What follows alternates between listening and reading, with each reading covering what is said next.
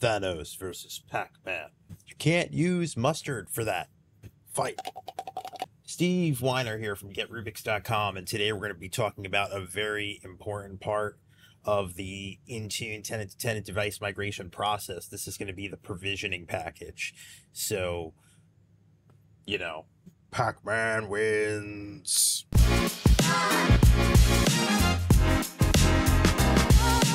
Okay, so the biggest question I get asked when we talk about the tenant to tenant migration process that we've been discussing here is how do we get the device to the new tenant before the user signs in?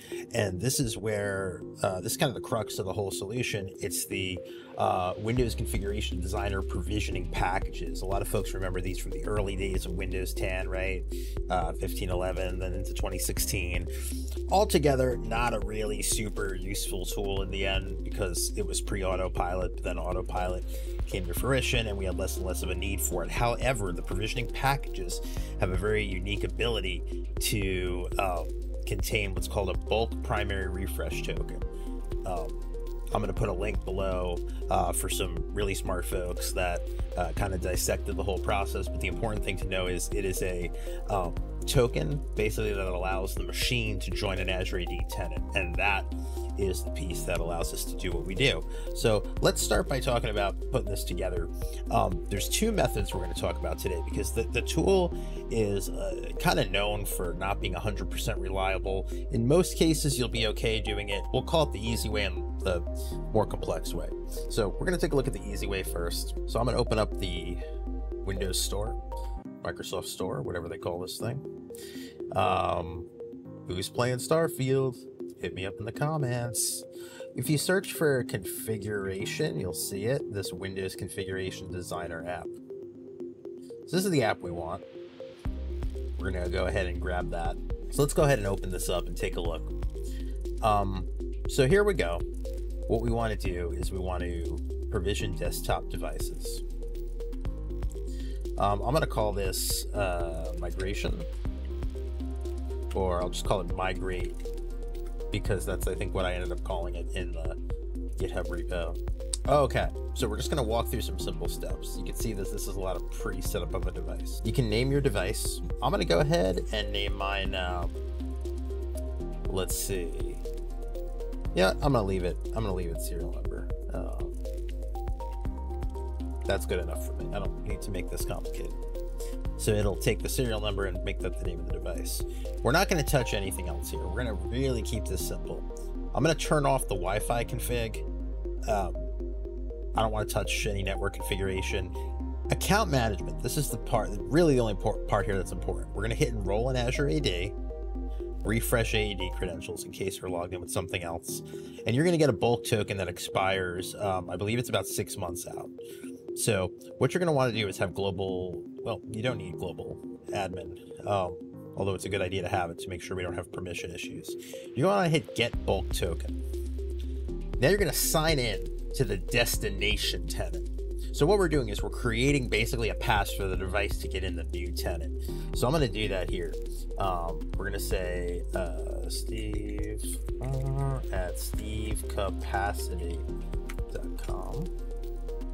You can see it's got the new tenant, so it knows where I'm going.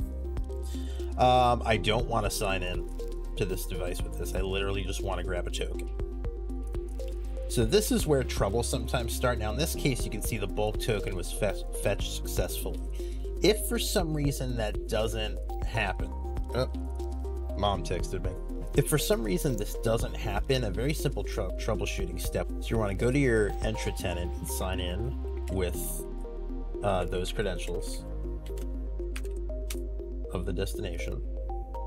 Enter, leave me alone. I said leave me alone. Okay, we go to applications. Okay. And then we're going to go to enterprise applications. All applications. And we should see the Windows Configuration Designer. So even if you hit an error, you should still see this here because it creates a service principal.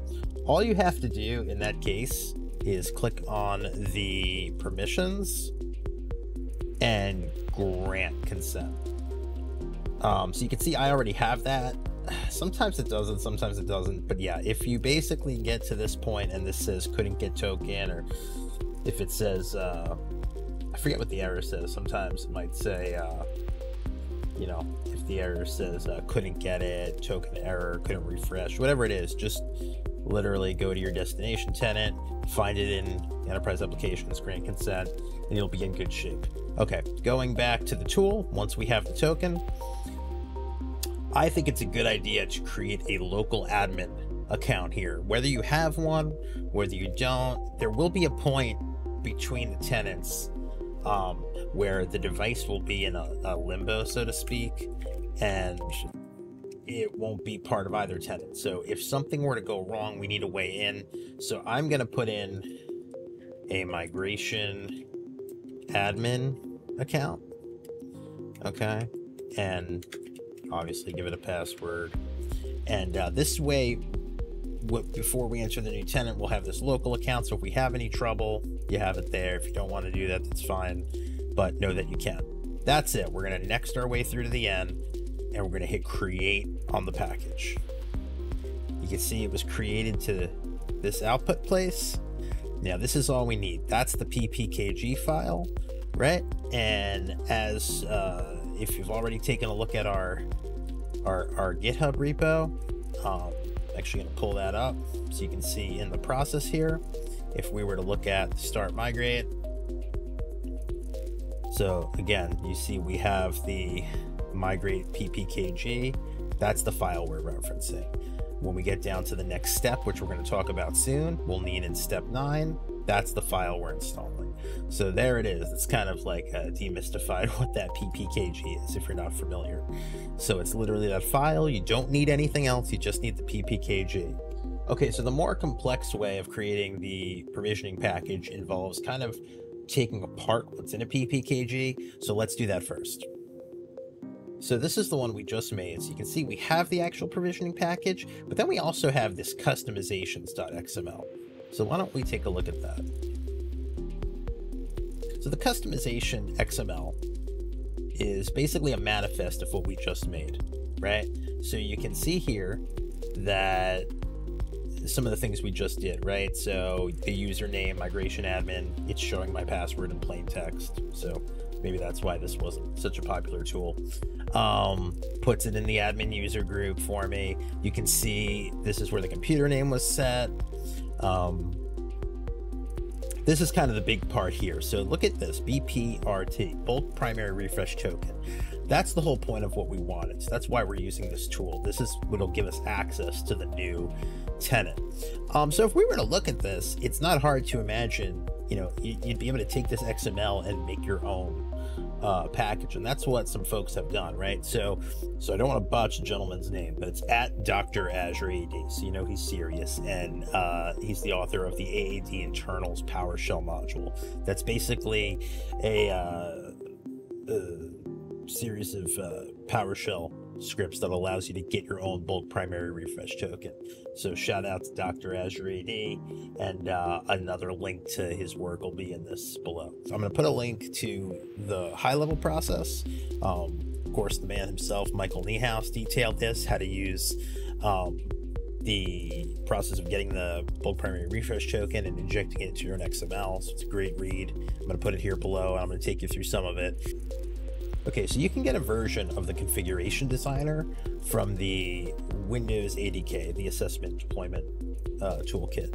All right, so we're gonna grab that and we're gonna set this up. So we're gonna install this real quick, basically so we have the program to create the PPKG. Now, no, we're not gonna send you anonymous data. You're gonna collect it either way.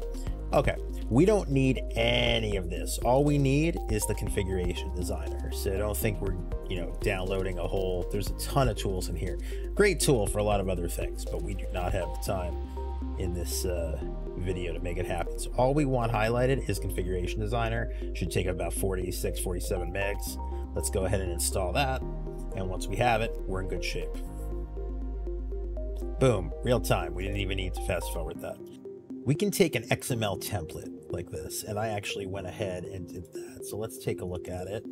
Oop. So this is, here we go.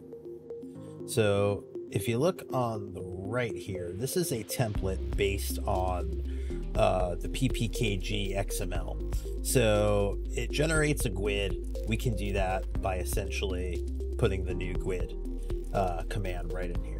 That's not a big deal if this isn't PowerShell. And you can see I've left a variable for the BPRT. Okay, so let's open up PowerShell. And we're just going to go grab that module. Install module AAD internals force. So AAD internals is the PowerShell module. Um,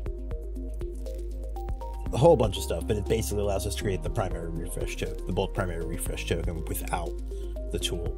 Um, okay, so now we have that. We can import the module internals, and here we go.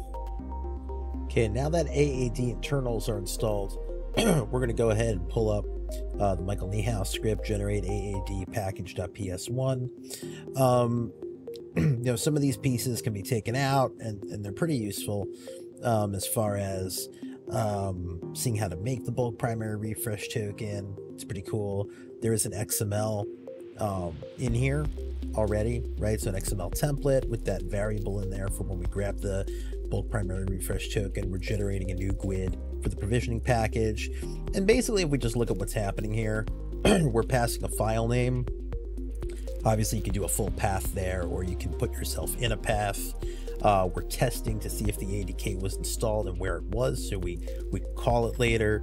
And here we're calling the executable, and we're essentially just passing that XML file we made through to the uh, executable, and we're going to output a package. So I am in this temp folder right here where I just have the the script already and you can see once we run this, it's going to generate a few things. It's going to generate an XML that's going to be customized based off this string here with our uh, BPRT in there. And it's also going to create a package for us. So we're going to go ahead and call this script here and pass it through the um, file name parameter, which of course I just want to call, I'll call this one manual migrate, differentiated from the other one. Okay, so the first thing it is, we're calling that AAD internals module. So we're going to off to that. This is similar to, you know, authenticating to uh, your Azure tenant of the graph where you use the destination credentials. Give it the password. We got the access token. It's going to generate the bulk token and it stops there, but let's look in that folder now. Look at that. So this was the XML that was created. Okay, what do we got there? I got some old stuff there. So you can see the XML that was created based on our template is very similar to basically what we have from the package itself. We have our BPRT, right? We have our settings. Um, I didn't add in the uh, the username and computer name. We can do that if we want to. You can just add that in manually. Um, uh, and then ultimately we have the same package, the ppkg file that we can use. Okay, so for step nine, all we really have to do is call that package, that provisioning package. So I'm going to write host, installing provisioning package for new Azure AD tenants. and this is a built-in command. This is install provisioning package, package path. Why isn't that popular? And that's going to be our um, our local path, right? Come on, local path, and we're going to call it call the migrate ppkg. Because remember that was already listed in here that we're going to put in local path uh, we are going to do a quiet install and a force. And that is what is going to place the device in our destination Azure AD tenant. So a lot of background work talking about the package for just the two lines in step nine. But you know what? That's definitely one of the, if not the most important part. All right, so now you know how we point the device to the new tenant. All that's left to do is get rid of the old objects from tenant A and you know, reboot this thing. So next time. One,